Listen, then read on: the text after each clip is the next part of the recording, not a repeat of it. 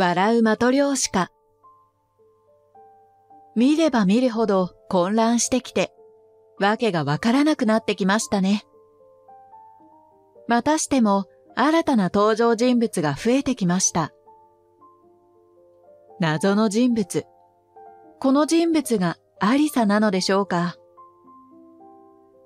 ヒロコの疑惑はどんどん増して、竹地や金高の不審な死を操っているのは、ヒロコの可能性も出てきましたし、アリサのようでもあります。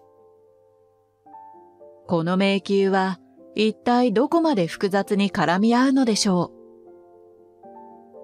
第5話では、ヒロコの行方を探すために、再び愛媛を訪れる道上。鈴木がヒロコと面識があるにもかかわらず、彼女のことを知らないと嘘をついていたことに気がつく。鈴木がヒロコとの関係を隠す理由を探るため、道上はまた走り出す。鈴木は聖家の実家を訪れた時のことを思い出したのだった。予告動画では、聖家の後ろにずっとヒロコがいることに気がついた道上。ヒロコに利用されていたのではないかと、鈴木にも詰め寄ります。そして、鈴木は、ヒロコに殺されるかもしれないとうなされていました。どうやら、鈴木と聖家の間にも亀裂が走るようです。鈴木は、一緒にやってきたんです、と必死に訴えている理由は何なのか。第二の謎の人物の女性は一体誰なのか。そして、また新たな誰かが消された可能性が浮かび上がる。美和子のシナリオにたどり着いた道上。最後に笑うマトリョーシカ。このシナリオの表す意味は一体。そして、マトリョーシカに値する人物が本当の黒幕なのでしょうか？もうこのドラマを見ていると、すべて疑問符しか浮かんできませんが、でも間違いなく、このシナリオが大きな鍵となるのは確実のようですね。シナリオ自体の出来はひどいもので、この終わり方も不自然。でも、聖家と鈴木の物語であることは確かで、さらに、これまで触れられてこなかった謎の人物の正体は、聖家の母親、ひろこでした。本当のハヌッセンは、美和子ではないのかもしれません。大丈夫だから。あなたは間違っていないから。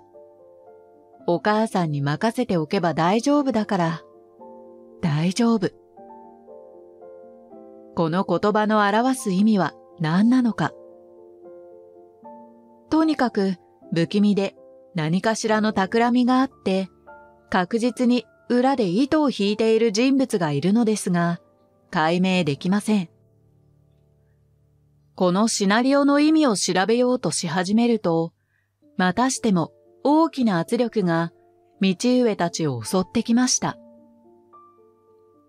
この一件から手を引け。引かなければ職を失うぞ。東都新聞という後ろ盾を手放すことになってもいいのか。お前の生活が脅かされるぞ、という脅しでもあります。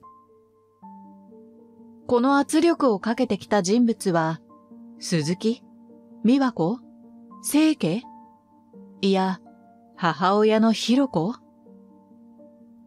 もしひろ子だとしても、その狙いは何なのかがわかりません。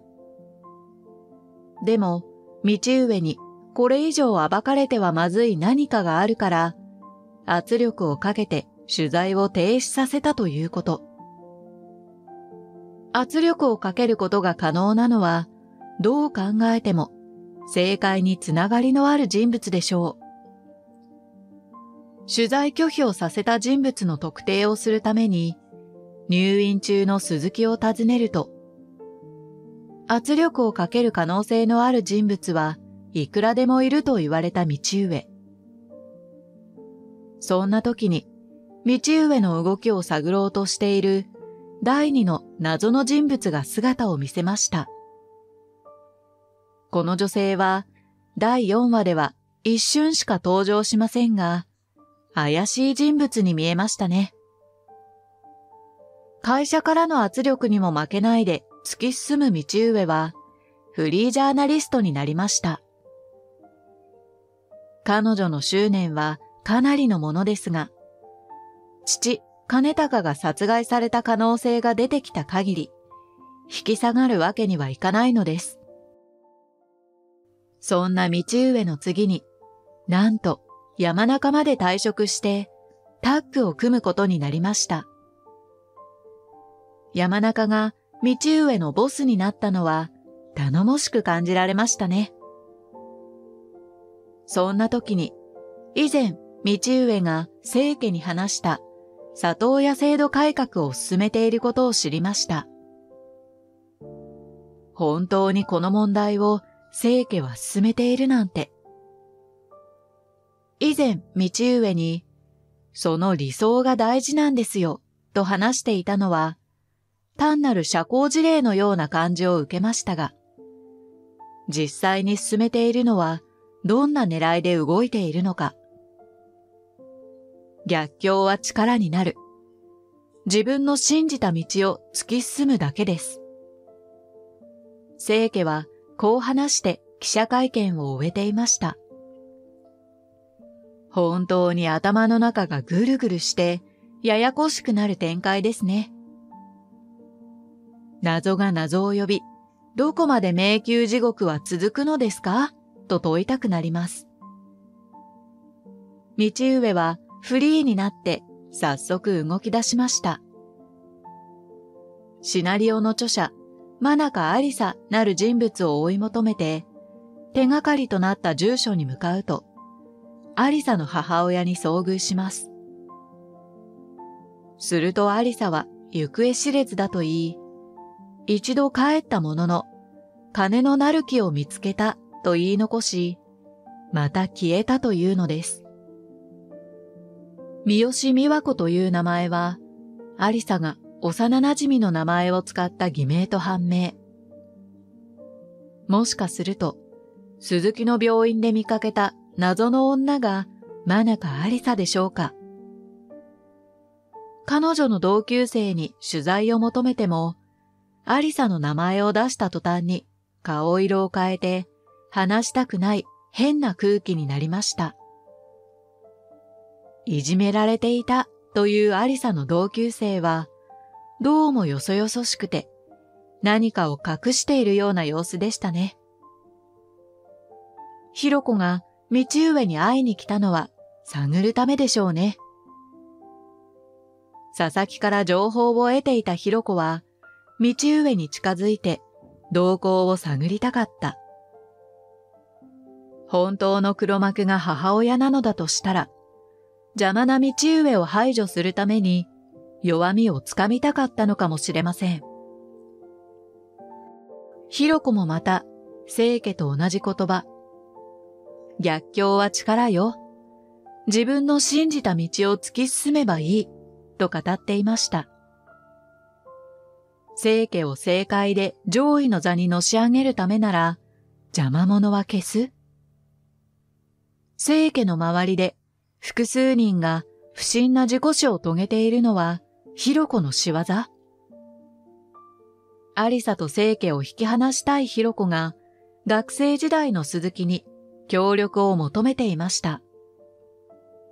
そして鈴木もひろこのことを考えている様子は深刻な表情を浮かべていましたから、彼もまた操られている一人なのか。一方、勇気はロッキーと再会できてよかったですね。そして、道上も勇気から見ればいい母親で、彼の大切なロッキーのチラシを何枚も作って貼り出していました。道上は無事に今回の事件を解決して、勇気と一緒に暮らせる日常を取り戻せたらいいなと思います。道上親子のことを考えていると、ひろこのあの最後の言葉も引っかかります。母と子の絆は何よりも強いもの。離れていても、どんなことがあっても。そして何度も、大丈夫、大丈夫、と繰り返していました。これは、アリサが書いたと思われる、最後に笑うマトリョーシカの締めくくりの一文にも同じような文言がありました。なぜアリサのシナリオにあった言葉をヒロコが語るのでしょうかもしかしてアリサを陥れるために彼女の名前を使ってヒロコがシナリオを書いた可能性も出てきます。道上はこのヒロコの言葉で何かに気づき走り出しました。本当の黒幕は一体誰なのでしょう次回も目が離せません。最後までご視聴いただきありがとうございました。